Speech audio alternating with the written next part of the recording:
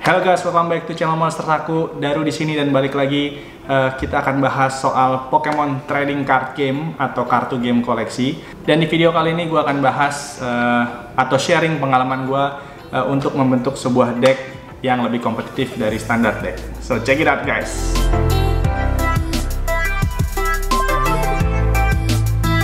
Sebenarnya standar deck ini uh, itu udah cukup balance sih. Uh, jadi kalian udah bisa main dengan menggunakan standar deck ini cuman balik lagi. Standar deck ini yang namanya juga standar ini bisa kita tingkatkan lagi uh, competitivenessnya. Jadi probabilitas kita untuk uh, draw kartu yang bagus dan sesuai dengan strategi secara keseluruhan itu bisa diperbaiki lagi dari standar deck. Makanya mereka juga di sini menjual yang namanya booster pack. Fungsinya adalah itu selain untuk menambah koleksi kita ya fungsinya adalah untuk memperkuat deck atau strategi yang ingin kita mainkan dalam sebuah deck Nah, tapi ada satu hal yang harus kalian take notes di sini. Gua di sini bukan pemain trading card game profesional. Gue sendiri masih baru banget untuk uh, dunia trading card game ini. Makanya gue di sini juga sambil belajar. Gue tanya sana, tanya sini. Terus gue baca-baca forum. Gue mencoba untuk belajar hal yang baru di sini dan gue pengen sharing pengalaman gue atau perjalanan gue untuk membentuk sebuah uh, deck ini menjadi deck yang lebih kompetitif. Jadi mudah-mudahan ini bisa berguna bagi kalian juga dan gue di sini memutuskan untuk build memulai dari Metagross GX ini. Nah, alasan gue pengen ngerombak Metagross GX ini adalah ya selain karena ini adalah rekomendasi juga dari uh, teman-teman gue. Alasan yang kedua sebenarnya karena gue di sini juga pemain baru, jadi koleksi gua itu zong banget atau masih masih fresh banget koleksinya. Jadi gue memutuskan untuk uh, membangun Metagross ini di mana dia itu jatuh di set B. Uh, kenapa gue pengen masuk ke set B? Karena gue pengen ngincer Tapu Lele juga. Kenapa gue pengen ngincer tapu lele? Karena tapu lele itu adalah kartu yang fleksibel banget. Jadi untuk di beberapa deck dia tetap masih bisa digunakan karena yang kita incer sebenarnya ability-nya dia. Nah sebenarnya kendala utama gue adalah budget yang terbatas. Jadi uh, eh, gue harus fokus di sini. Jadi gue fokus di set B uh, karena gue pengen bikin deck. Gue pengen incer tapu lele juga. Simple kan alasan gue.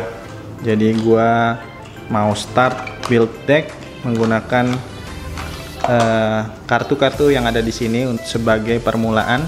Gua nanti akan jajarin semua kartu di meja ini agar kita bisa ngelihat uh, secara lebih menyeluruh dari kartu-kartu ini, oke? Okay? Dan dalam membentuk sebuah deck itu akan lebih baik kalau kalian tahu uh, siapa yang ingin kalian kalian gunakan sebagai main attackers. Dalam hal ini misalnya kita bisa pilih Venusaur sebenarnya, tapi kita bisa juga milih uh, Metagross. Dan gue di sini akan memilih Metagross karena Metagross ini uh, dia itu punya ability yang cukup unik menurut gua sistem geotek di mana kita itu sebelum kita attack atau dalam turn kita kita bisa colok satu energi psychic atau energi steel ke dalam Pokemon kita yang sedang bertarung jadi kita langsung bisa colok energi ke Pokemon kita yang sudah kita pasang di arena dan dia punya palu giga dengan damage yang cukup besar 150 tapi kelemahannya adalah hanya bisa digunakan sekali dan turn berikutnya kita nggak bisa menggunakan jurus ini.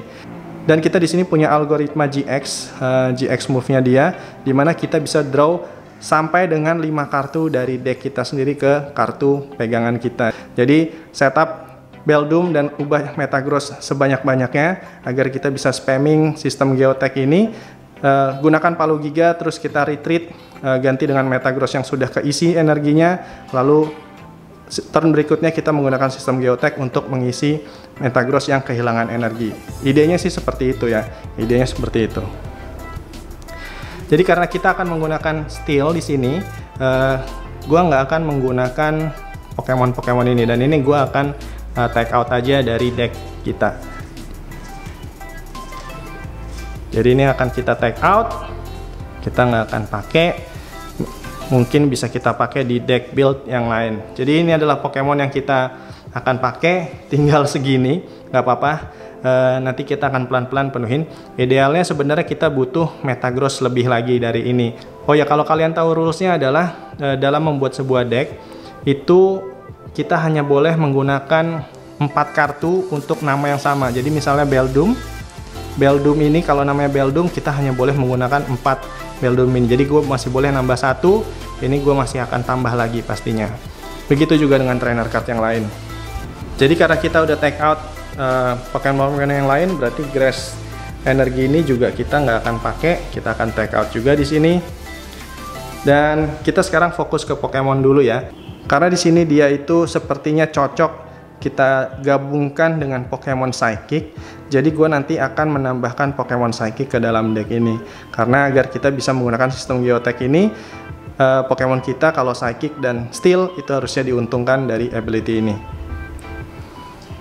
Ups, sepertinya gue ada yang kelewat di sini tadi. Gue sepertinya ngelihat Mawil di sini. Jadi kita butuh Pokemon yang bisa membantu atau mensupport mereka untuk setup Uh, jadi Mawil ini sebenarnya bisa kita pakai karena dia punya memanggil teman ini. Mainkan paling banyak dua Pokemon basic dari deck sendiri sebagai Pokemon cadangan kemudian kocok deck. Jadi kalau kita colok satu energi apa pun itu, uh, kita bisa memanggil teman, kita bisa memanggil Beldum ataupun Pokemon yang nanti akan kita pilih. Karena gue belum hafal, gue harus lihat listnya dari set B. Coba sekarang kita lihat. Oke, okay, jadi kalau kalian belum tahu, sebenarnya dari Pokemon Company sendiri itu udah uh, ngasih rilis uh, semacam file PDF-nya untuk semua kartu yang bisa kita milikin sampai saat ini yaitu ada set A-nya, uh, set A dan set B. Di sini gue akan lebih fokus ke set B. Jadi kita coba lihat di sini uh, set B-nya itu mereka punya tipe psychic apa aja ya. Uh, kita bisa lihat di sini Ikens, Arbok, Zubat, Golbat yang kita bisa pelan-pelan baca take your time untuk baca ability dan juga serangannya dia itu punya efek apa aja ke lawan. Jadi kalau gue lihat di sini tadi gue udah uh, baca-baca sekilas. Nah kalau Oricorio ini kita lihat ini dapat digunakan satu kali kalau misalnya dia udah masuk di Pokemon cadangan kita. Uh, kita bisa nyari paling banyak dua energi dasar dari deck kita sendiri. Kartu ini mungkin akan bisa membantu. Jadi gue mungkin akan cari Oricorio uh, untuk melengkapi deck gue ini juga. Terus apalagi ya di sini ah tapu lele.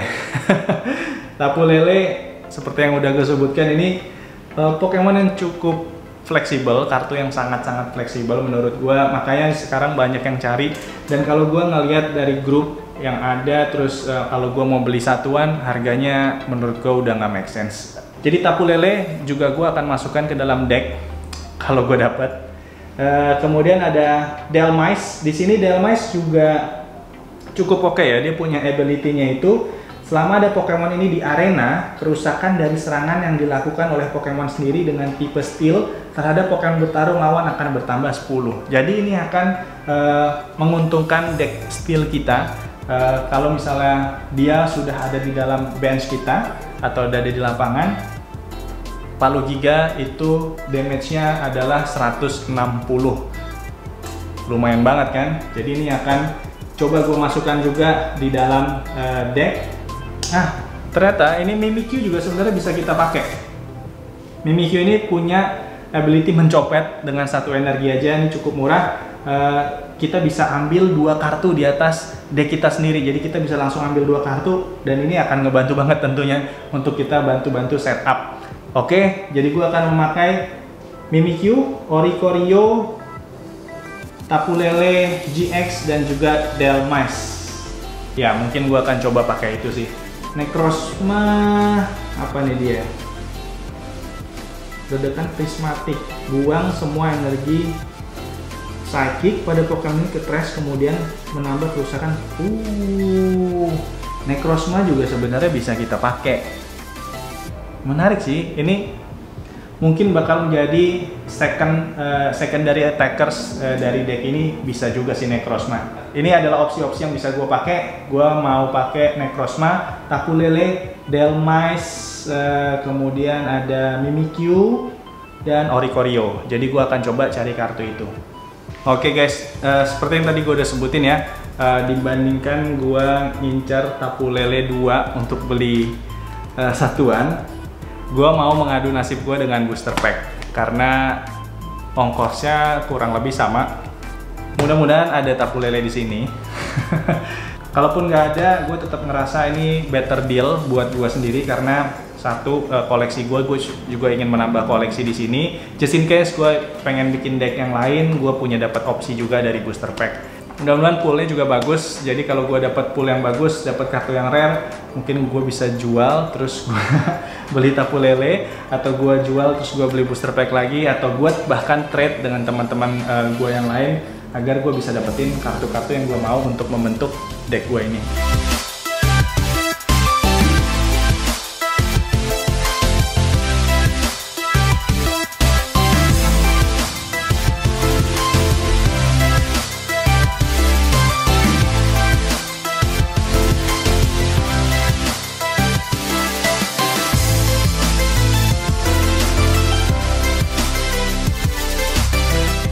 That's it. Kita coba lihat apa yang kita dapat.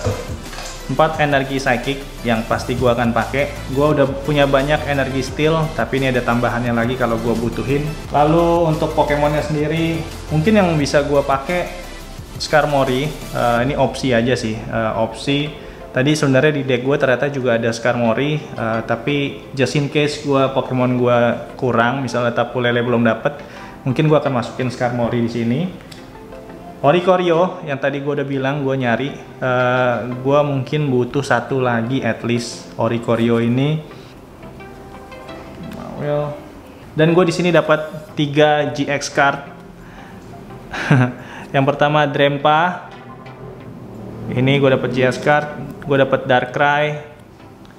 Dan inilah gue dapat Umbreon yang rainbow. Nah sekarang gue punya opsi antara mau jual ini atau gue trade untuk tapu lele. Tapi kayaknya gue tetap mau jadi ini koleksi karena gue belum punya sebelumnya. Dan tentunya kita dapat banyak uh, trainer card di sini. Jadi gue dapat Olivia, tukar Pokemon, Profesor Kukui, bola ultra, energi pelangi, pembersih arena, How, pembagi pengalaman, How ada dua, Dumble Binaraga anak buah tim tengkorak. Gue akan lihat nanti apakah gue ini bisa kita masukkan ke dalam deck kita juga atau enggak. So tadi kita udah pisahin ya Mawil dan Orikoro ini akan kita masukkan di deck. Uh, Pokemon gue ada 9 di sini. Tentu ini kayaknya masih kurang jadi gue akan tambah-tambah. Oke, gue inget di koleksi gue, gue itu punya Mimikyu, tapi ini yang dari Indomaret. Nah, untungnya uh, kartu ini juga legal untuk kita mainkan uh, dalam membuat deck. Jadi ini bisa kita mainkan, jadi kita langsung masukkan aja ke deck. Kartu dari Indomaret, thanks Indomaret. Gue beli booster packnya, gue ternyata dapet uh, Necrozma GX Full Art ini. Jadi ini juga bisa gue pakai. Ternyata emang setelah gue lihat-lihat cukup sinkron dengan uh, deck ini karena lagi-lagi uh, Necrozma ini kan psychic karena di sini kita running psychic jadi dia juga bisa menjadi attackers alternatif selain uh, Giga Impact. Dan dia adalah basic Pokemon jadi bisa langsung kita mainkan tanpa setup juga. Dan ini untuk Pokemonnya. Uh, belum selesai sebenarnya tapi ini yang gue punya sekarang. Jadi gue sementara akan pakai mereka dulu sambil gue nanti nyari uh, Tapu Lele. Gue juga masih harus nyari Metagross uh, GX ini at least tiga lagi. Jadi gue bisa punya empat. Uh, dan gue di sini punya Beldum gue pengen nambah satu lagi dan untuk trainer cardnya ini pilihan kita cukup banyak di sini. Uh, eh, gue sampai bingung juga. Cuman yang jelas uh, untuk menjalankan strategi ini, gue pasti butuh uh, rare candy. Gue butuh banget rare candy, jadi gue harus incer rare candy at least tiga lagi agar gue bisa menjalankan strategi ini uh, berubah dengan cepat. Dan yang lainnya tentu saja gue akan fokus uh, ke drawing uh, deck dan juga switching. Jadi ini supaya nggak kelamaan gue akan coba setup uh, trainer card kira-kira gue bisa setup seperti apa ya.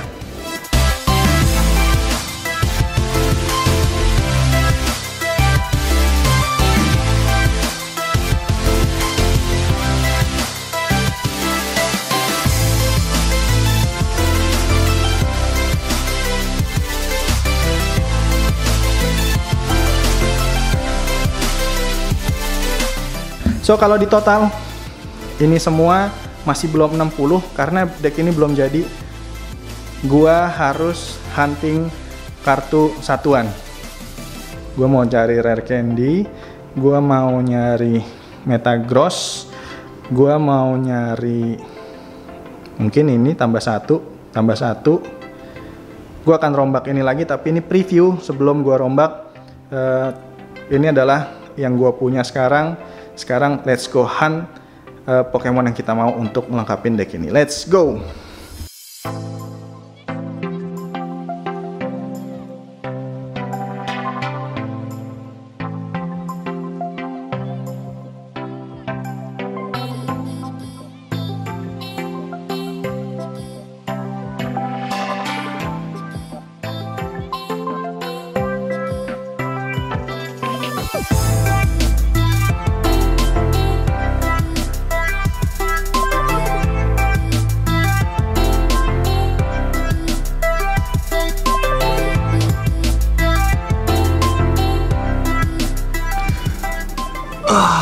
Oke guys, update. Gagal misi gue datang ke game shop. Harapan gue tadinya datang ke situ eh, karena mereka gue tahu mereka jual satuan atau ketengan gitu. Eh, harapannya mereka punya kartu-kartu apa yang gue mau. Tapi ternyata gue cuma dapet satu. Jadi gue cuma dapet eh, Delmice ini.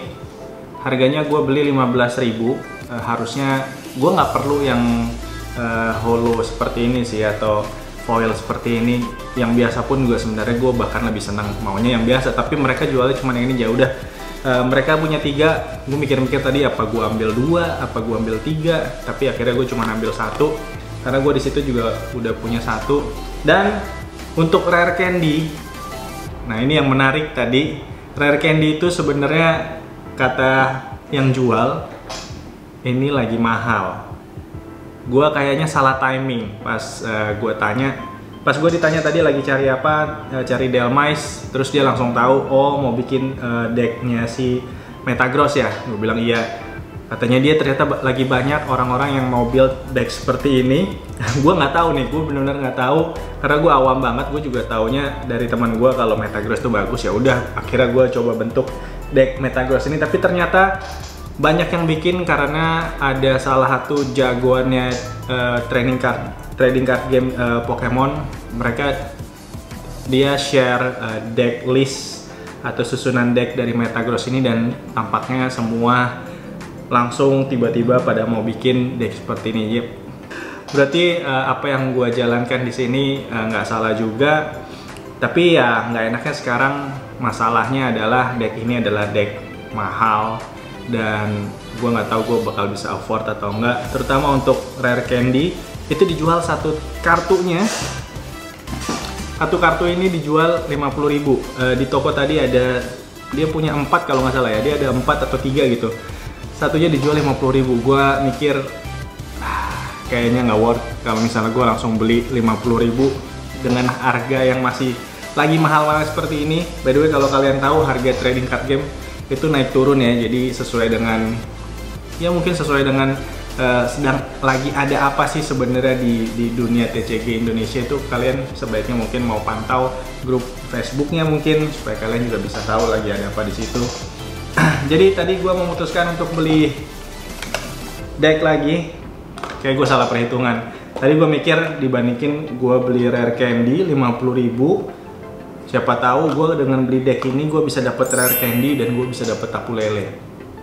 Tapi kayaknya ini bad decision eh, karena gue dapatnya decknya Snowball depannya. Yang GX-nya adalah Drempa yang tadi gue ternyata udah dapet eh, foilnya juga. Jadi menurut gue beli deck untuk kondisi gue ya itu kurang worth sih.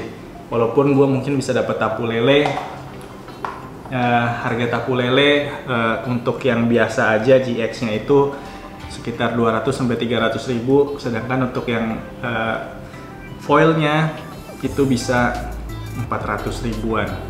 Jadi gue mikir damn gue timing gue salah udah rare candy mahal. Metagross juga. Gue nggak ketemu tadi katanya di sana juga kosong. Jadi alhasil gue mencoba untuk memutuskan untuk beli booster pack lagi. Eh, dan gue mau memutuskan untuk membeli booster pack dari Indomaret. Dengan harapan gue dapat bonus juga dari Indomaret. Kalau kita beli dua kan dapat satu bonus satu kartu. Yang mungkin bisa kita pakai juga siapa tahu ada Delmice siapa tahu ada yang lain yang bisa kita pakai ataupun untuk koleksi gue nanti. Jadi gue memutuskan untuk beli eh, booster pack lagi. Gue beli 8 di sana adanya 8 jadi gue memutuskan untuk beli 8 lagi. Dan gue akan unboxing ini untuk ngeliat dapat apa aja. Oke guys. Gue udah selesai unboxing. Gue dapat Beldum. Eh, satu Pokemon yang gue butuhkan karena gue butuh satu lagi ini pas gue butuh Beldum.